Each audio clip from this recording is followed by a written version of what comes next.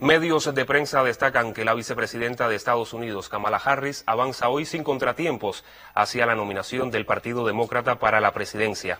Las fuentes resaltan que Harris logró recaudar 200 millones de dólares en la primera semana de campaña, un número récord, y sumó unos 170 mil voluntarios cuando faltan apenas 100 días para la cita de los votantes en las urnas. War and Black es un sitio web digital que agrupa a 10 periódicos de afrodescendientes y asegura que el entusiasmo que está generando Kamala Harris no se había visto desde la historia de la campaña de Barack Obama en 2008.